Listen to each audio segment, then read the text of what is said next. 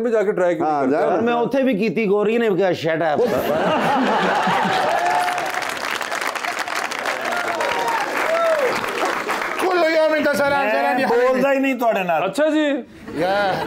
ऐसा मामला है? ਹਰ ਬੌਸ ਨੇ ਅੱਜ ਯਕੀਨ ਕਰੋ ਬਹੁਤ अच्छा ਦੁੱਖ ਹੋ ਰਿਹਾ ਹੈ क्यों क्या किया इसने ऐसा what did call you him, do call him, call him. Tell me tell me call call him hello Yalla call him tell me what did you do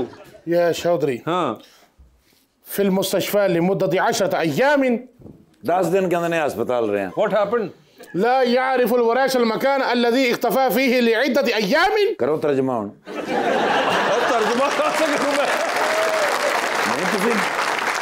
आपने कॉल बुलाया तो फिर उन करो तर्जुमा। मैंने तो उसको सिर्फ़ पूछने के लिए बुलाया क्या कह रहे हैं? सर जी कह रहे हैं कि दस दिन तक मैं हॉस्पिटल में रहा हूँ और फड़ैच गायब रहा है।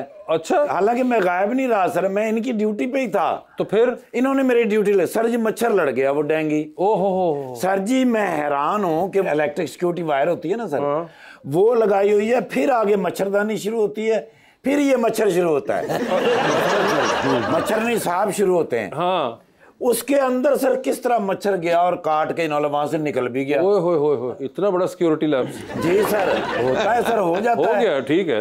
और सर जी टीमें तश्कील दी गई सोलह टीमें बनाई गई ओए होए होए। कि उस मच्छर को पकड़ के लाओ। ठीक है। क्योंकि सर फैमिली में बड़ी बेइज्जती हो रही थी कहते मैं खानदान जी मेरी नाक कटी जाएगी। हाँ। जबकि वो कह भी रहे थे कि वहाँ हालात नहीं ठीक मच्छर हैं आप ना जाए। ओके। आ गए। फिर भी गए। अब सर सोलह टीमें तश्कील दी गई। ठीक है। आखिर उसी टीम ने उस मच्छर को पकड़ा जिसको मैं लीड कर रहा था। होए। सर जी समनाबाद के गंदे नाले के नीचे हाँ। वो मच्छर जश्न मना रहे थे। होए होए होए होए जी सर और उसको जब मैंने पकड़ा है हाँ। उस वक्त तो वो यूँ यूँ कर रहा था।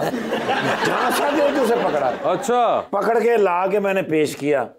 मैंने कहा सर ये मच्छर था जिसने आपको काटा है ओए होए या चौधरी हाँ लको संभाता फिल बाउदती ਕਹਿੰਦੇ ਨੇ ਜੀ ਫਿਰ ਮੈਂ ਉਹਨੂੰ ਮਾਫ ਕਰ ਦਿੱਤਾ ਸਰ ਇੱਕ ਵਾਰੀ ਪੁੱਛੋ ਉਸ ਮੱਛਰ ਨੂੰ ਇੰਨੀ ਮੁਸ਼ਕਲ ਨਾਲ ਅਸੀਂ ਫੜ ਕੇ ਲਿਆਏ ਕਿਉਂ ਮਾਫ ਕੀਤਾ ਕਿਉਂ ਕਿਉਂ ਮਾਫ ਕੀਤਾ ਆਉਂਦੀ ਸ਼ਕਲ ਵੜੈਚ ਨਾਲ ਬਹੁਤ ਮਿਲਦੀ ਜਦੋਂ ਨਾਲੇ ਦੇ ਅੰਦਰ ਤੂੰ ਗਿਆ ਤੇ ਮੱਛਰ ਨਾਲ ਕੀ ਗੱਲ ਹੋਈ ਮੇਰੀ ਗੁਫ਼ਤਗੂ ਤੇ ਹੋਈ ਨਹੀਂ ਉੱਥੇ ਪੂਰਾ ਦਾ ਪੂਰਾ ਕਾਫਲਾ ਜਿਹੜਾ ਸੀ ਉਹ ਬੀਜ਼ੀ ਸਰਕਸ ਸਰੂਰ ਦੀ ਮਹਿਫਲ ਹੋ ਗਈ स्पीकर के ऊपर इन्होंने कहा हमने आपको चारों तरफ से घेर लिया है हम यहाँ से भागने की कोशिश ना करना नहीं ये उन्होंने कहा पढ़ाया हमने तुम्हें चारों तरफ से घेर लिया है अच्छा क्या हुआ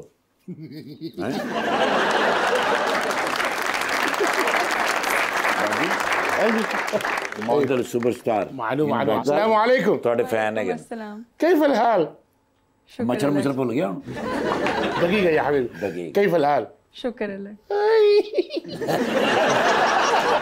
ਇਸ ਤਰ੍ਹਾਂ ਹੀ ਤੂੰ ਆਪਣੇ ਸੈੱਲ ਖਤਮ ਕਰ ਲੈਣਾ नहीं अर, अरबी आती है थोड़ी थोड़ी समझ आती है। ये तो मालूम अरबी नहीं मालूम अरबी।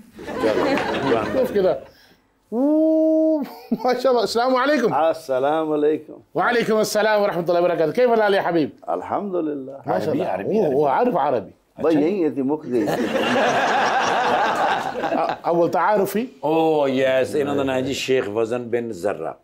ਓਹੋ ਹਾਂਜੀ ਔਰ ਜ਼ਰਾ ਨਹੀਂ ਮੈਨੂੰ ਚੰਗੇ ਲੱਗਦੇ ਓਹ ਇਹ ਕੀ ਲਗਾਇਆ ਹੋਇਆ ਇਹਨਾਂ ਨੇ ਸਰ ਦੰਦ ਚੋਂ ਬੋਟੀਆਂ ਕੱਢਦੇ ਨੇ ਇਨਸ਼ਾ ਅੱਲਾਹ ਹਬੀਬਾਨਾ ਸਭ ਦਾ ਉਸਤਾਦ ਵਕਲ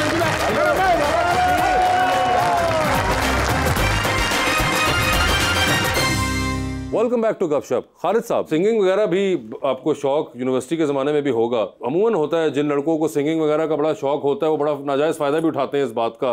और वो बाकी लड़कों के मुकाबले में भी हिट होते हैं। गिटार भी इसीलिए गिटार भी बजा रहे होते हैं यूनिवर्सिटी के। तो आप ये सब कर चुके हुए हैं? जी जी बिल्कुल और आपसे बाकी दोस्त आपके हसद करते थे इस बात पे? होता होगा आई डोंट तो फरमाइशें तो आप करते होंगे हाँ।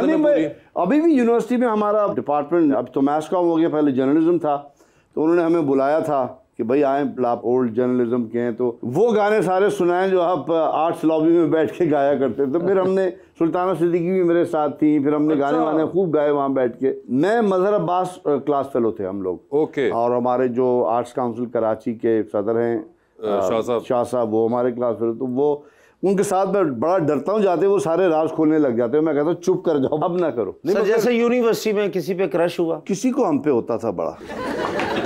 ਜਿਹੜੇ ਹੁਣ ਪਿਆਰੇ ਜੇ ਹੁਣ ਵੀ ਹੋ नहीं सकता और उस वक्त सोचे फिर गाना गिटार भी और गाता हो गाना। गिटार भी बजा रहे हैं उस जमाने में नहीं नहीं सब तो इश्क तो हर पांचवी तीसरी जमात से इख्तिताम कब हुआ इस इख्तिताम जब बेगम मिल गई इख्तिताम हो गया अच्छा ਇਹ ਵੀ ਤੁਸੀਂ ਉਹਨਾਂ ਨੂੰ ਖੁਸ਼ ਕਰਨ ਲਈ ਕਹੇ ਜੇ नहीं नहीं नहीं देखिए मोहब्बत और इश्क में फ़र्क होता है वो बारीक सा फ़र्क है वो जोश साहब से किसी ने पूछा था कि भाई वो क्या ज़िंदगी में मोहब्बत एक ही बार होती है तो उन्होंने कहा देखिए हुसन एक पेड़ के मानंद है और मोहब्बत और इश्क जो एक चिड़िया है वो कभी एक डाली पे बैठती है कभी दूसरी पे बैठता है कभी तीसरे पे तो इस पे कोई वो बात नहीं है। आप इंस्पायर कैसे होते हैं? आर्टिस्ट जो है वो तो इंस्पिरेशन माँगता है ना? Yes, sir. उसको तो म्यूज चाहिए होता है। प्यार नहीं होगा तो काम कैसे करेगा? तो आप किस चीज़ से इंस्पायर होते हैं आप? किसी भी अच्छी चीज़ से हो सकते हैं बुरे से भी होते हैं। बुरे से होते हैं तो बुरा लिखते हैं अच्छे से होते हैं अच्छा अच्छा बुरे से हो जाते हैं इंस्पायर आप? हाँ। अच्छा नो वंडर आप उस वक्त से क्यों देखी जा रहे हैं उसको? मैं सोच रहा हूँ। उन्होंने बताया कि इंस्पिरेशन तो आपको किसी चीज़ से मिल सकती है? आपको क्या चीज़ इंस्पायर करती है? ऑब्वियसली किसी भी चीज़ से इंस्पिरेशन मिल सकती है। जब आप काम कर रहे होते हैं सेट पे आप किसी पर्सनालिटी से मगर आप सेट पे तो नहीं होती हर वक्त। एग्जांपल दे रही हूँ कि आप किसी पर्सनालिटी से भी इंस्पायर हो सकते ठीक है तो आखिरी बार किस पर्सनालिटी ने इंस्पायर किया? हैं सामिया मुमताज़। सम्या मुमताज़ ने। उनके साथ जब आप काम कर रही थी उन्होंने इंस्पायर किया। उन्होंने इंस्पायर तो it's personalities for you that inspire you या fair enough wonderful right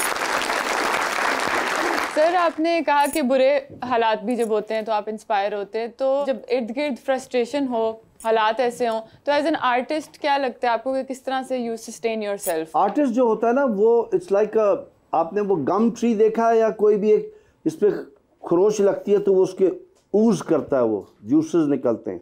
तो all human beings are like that but artist specifically because वो अपने जो गम है उसको पहचानता है। तो जब भी हालात बुरे हों तो उसके अंदर से कुछ ना कुछ वो ज़्यादा फील करता है और उसके अंदर से वो फिर ऊज आउट करता है। I always say that creativity बगैर हर्ट के नहीं होती। चाहे वो आपको लगेगा तो वो टूटेगा तो फिर उस पे से निकलेगा लेकिन आर्टिस्ट के लिए कभी मुश्किल भी हो जाता है ना जब इर्द गिर्द सारी फ्रस्ट्रेशन हो तो अपने आप को सस्टेन करना you, believe me, I've been through hell in my life. I've lost my parents at a young age. It doesn't matter. That is what the beauty of ज़िंदगी का मज़ा ही यही है ना कि आपको हर मोड़ पे एक नया मैं मैं तो इतना जिसे कहते हैं कि रूटीन से इतना बेजार आ जाता हूँ कि मैं जिस सड़क से आया हूँ उससे वापस नहीं जाता घूम के जाता हूँ, यार, क्या बोरियत है। बट कभी डिस्पेयर ना करें, कभी डाउन मत हो। There is always another day tomorrow ना? लोग कहते हैं, आप एक बार ज़िंदगी मिलती है, नहीं बार बार मिलती है ज़िंदगी। रात सोते हैं, ज़िंदगी खत्म होती है, अगले दिन सुबह उठते हैं, फिर आप, आज गलती हो गई, कोई बात नहीं। गलती करने या गलती हो जाने पे कभी गमगीन ना हो। बहुत दफ़ा ऐसा होता है कि आप बहुत मेहनत करते हैं, पैसे बचाते हैं, जूता आपको पसंद आ जाता है, आप उस वक्त अफोर्ड नहीं कर सकते। आप खरीद के ले आते हैं दो महीने बाद। पहनते हैं, पहनते पता चलता है, भाई यार तो काट रहा है। But you don't keep on wearing that shoe relationships पे भी यही होता है। आप कहते हैं, नहीं यार, ये मेरे लिए बहुत अच्छा है, ये मेरे लिए बहुत अच्छी है। अब पता two months down the road आपको लगता है कि God I made a mistake फ़ौरन बदल दो। हमारा दीन तो इतना प्यारा है अल्लाह ने हमारे रिलीजन में डाइवोर्स रखी हुई है। हिंदूज में नहीं होती क्रिश्चियंस में नहीं होती। गए तो गए फंस गए। हमें तो मौका दिया हुआ है अल्लाह ने कि आप यार कोई बात नहीं होगी मिस्टेक अलग हो जाओ अच्छे तरीके से। एक चीज़ याद रखिए दिल ना दुखाए किसी का। ये मैं मगर बता- अगर वो आप कह रहे हैं जो इसी एग्ज़ाम्पल में तो डिवोर्स में दिल दुखेगा। नहीं वो डिवोर्स आप एक्सप्लेन करें ना। बट मगर वो एक्सप्लेन करके भी लोगों को लगता है कि वो लग देखिए ना as long as you are on the right that is all that matters एक आदमी नहीं अब मान रहा कोई आपकी बात बजिद है, कहते हैं the best way to convince a fool is to let him have his own way वो कन्विंस हो जाएगा। भाई तुझे छलांग मारनी मार ले भाई, मैं तो तुझे समझा रहा हूँ। कुछ नहीं रखा इसमें। तो जल्दी ना मचाएँ। Actually you can't blame parents मैं आप वालिद हूँ, मेरी बीवी हमेशा मुझे कहती है कि, शुक्र है, बेटियाँ नहीं है आपकी। वरना आप बेटों के बारे में इतने पोजेसिव है, बेटियों को तो आप पता नहीं क्या करते। नहीं, मैं ऐसा नहीं हूँ। बट द थिंग इज़ के it's a matter of understanding हाँ बिल्कुल आप सही कह रही कल्चरल है। हम बर सगीर पाको हिंद में रहते हैं।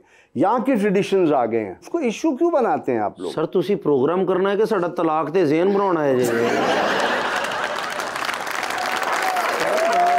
मैं सिर्फ़ ये चाह रहा हूँ कि जिन खातन के हाँ। ऊपर हाँ। आप जबर कर रहे हैं अच्छा, अच्छा, प्लीज़ लेट देम गो अगर आप समझ रहे हैं कि उन पर जुल्म हो रहा है